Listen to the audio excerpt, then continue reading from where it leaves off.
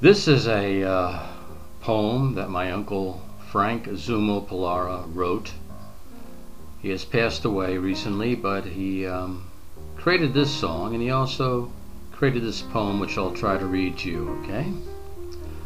A flight of birds along the shore, their wing pulse leaves one in awe, blue waters reflecting perfect skies, where too a silvered mullets rise as soft breezes caress the drapes of palm, making shadows brush the sand.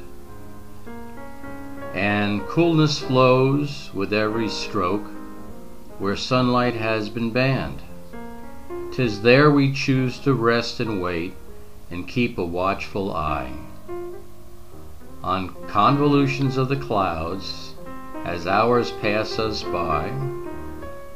Then heaven's artists to their task, the rays they do unfold, the blues, the crimsons, and the greens, with streaks of black and gold,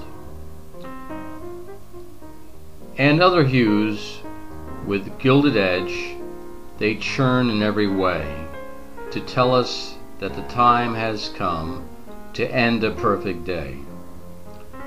Then by evening's shade, that is slowly made by lowering the sun, we rise, we pack, and we stroll for home, with two shadows making one.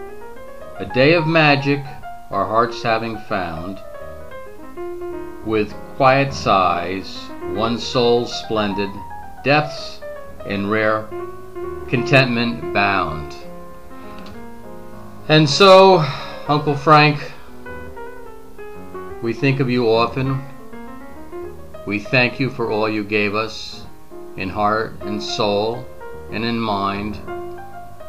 You taught us much, so many facts, so much curiosity. And yet, I think your biggest gift to all of us is you showed us how to live and ultimately, you showed us how to die. And you showed us how to cherish each day and make the best of it, and to learn, to continue to learn, for as long as we breathe.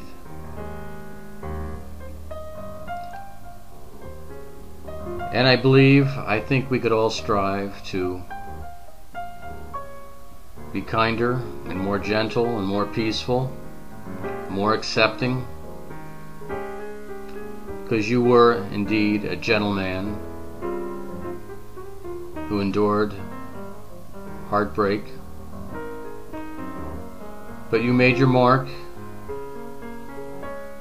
You have the respect and love of all of us. And hopefully we'll meet again, Uncle Frank.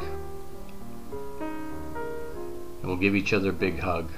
God bless you, Uncle Frank, and thanks for everything. Bye bye. We love you.